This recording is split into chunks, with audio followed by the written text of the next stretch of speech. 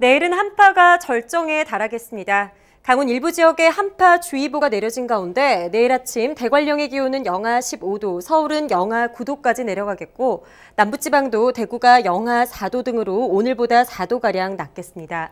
찬바람에 차감 추위는 더하겠는데요. 이 추위와 함께 서해안 지역도 눈이 이어지고 있습니다. 충청과 전북 일부 지역엔 대설특보가 내려진 가운데 내일까지 충남과 전북, 전남 서해안은 20cm가량의 많은 눈이 더 내리겠고요.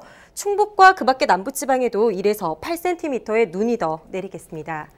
내일 서울, 경기와 강원도는 대체로 맑은 날씨 예상되고 찬바람이 강하게 불겠습니다. 강원 영동 지역은 대기가 건조한 만큼 산불 나지 않도록 조심하셔야겠습니다. 충청과 호남 지역은 한방눈이 쏟아지겠고요. 찬바람이 강하게 불겠습니다. 영남 지역도 내륙을 중심으로 눈이 내리겠고 아침과 낮 기온 모두 오늘보다 2도에서 4도가량 낮겠습니다.